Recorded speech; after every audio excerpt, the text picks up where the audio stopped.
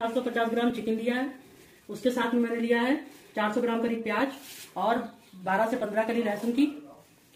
एक एक चम्मच हल्दी है, एक छोटा चम्मच लाल मिर्च पाउडर है, गरम मसाला एक छोटा चम्मच, नमक स्वाद अनुसार। और मैंने इसके साथ ऐड किया है डेढ़ चम्मच करीब चिकन मसाला और धनिया पाउडर डेढ़ बड़ा चम्मच। और इसके साथ में मैंने छौके के लिए लिया है दालचीनी का एक टुकड़ा। चार छोटी इलायची, एक बड़ी इलायची। चार से पाँच मैंने लौंग ली है और एक टीस्पून मैंने काली मिर्च ली है। मैंने जो प्याज ली थी, उसका मैंने पेस्ट बना लिया है और उसके साथ में दो से तीन प्याज का मैंने चॉप करके रख लिया है तड़के के लिए। मैंने सब्ज़ी छौंकने के लिए तीन टेबल स्पून करीब इसमें कड़वा तेल डाला है और मैं इसमें डालूँगी नमक, जिसकी वजह से तेल के कड़वापन जो है वो दूर हो जाता है। अब मैं इसकी गर, इसको गर्म होने दूँगी जब तक धुआँ नहीं आ जाता उसके बाद में मैं बाकी मसाले इसमें ऐड करूँगी। अब मैं तेल गर्म हो चुका है धूप भी धुआँ निकलने लगा है और अब मैं इसमें ऐड करूँगी चार पाँच तेज पत्ता इलायची ये जो मैंने खड़े मसाले रखे थे ये मसाले इसमें ऐड कर दूँगी। उसके बाद चटकने के बाद मैं इसमें प्याज ऐड करूँगी। और इसको हल्का गुलाबी होने तक भूनूँगी। अब मैं ये जो सूखे मसाले हैं, इन सबका मिला के घोल तैयार कर लूँगी, जिससे कि मसाले अच्छे से फूल जाए और सब्ज़ी में इसका टेस्ट बढ़िया है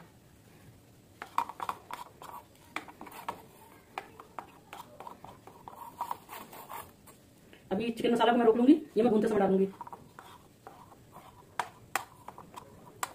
और इसका अच्छे से पेस्ट तैयार कर लूँगी।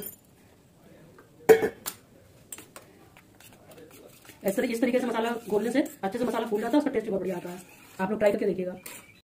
अब जो मैंने चॉप प्याज लिया था, उसको मैं इसमें फ्राई ब्राउन फ्राई करूँगी, उसके बाद उसका पेस्ट बना के तब मैं मुर्गे में ऐड करूँगी। इससे चिकन का टेस्ट बहुत बढ़िया आता है। अब मैंने इस प्याज को हल्का गुलाबी होने तक भून लिया है। अब मैं इसको ठंडा करूँगी, उसके बाद मैं इसका पेस्ट बनाऊँगी मिक्सी में। अब ये देखिए, प्याज जो है वो लाइट ब्राउन हो गया है। अब हम इसमें जो घोल कर मसाला रखा था, अब इसमें हम वो ऐड करेंगे और इसको एक से दो मिनट के लिए भूनेंगे। स्लो स्लो आँच पे। और जब इसमें तेल आ जाएगा, उसके बाद हम वो पीसा हुआ ब्राउन प्याज डालेंगे और उसके बाद हम चिकन को इसमें ऐड करेंगे। अब देखिए मसाला जो है अच्छे से भून चुका है। इसका पानी भी सूख गया है इसमें से हल्का सा तेल भी बाहर आ गया है। अब हम इसमें ऐड करेंगे चिकन को और चिकन को धीमी आँच पे पानी छूटने तक इसको हम भूनेंगे।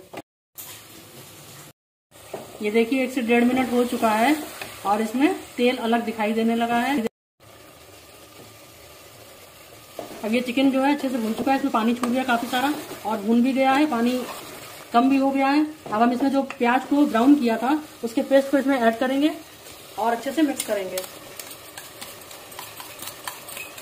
और इसके साथ ही साथ इसमें हम ये चिकन मसाला और नमक को भी ऐड कर देंगे।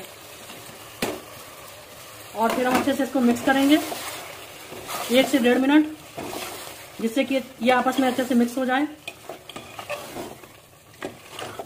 और एक से डेढ़ मिनट भूनने के बाद में इसमें थोड़ा सा पानी डाल के हम इसमें सीटी मार देंगे।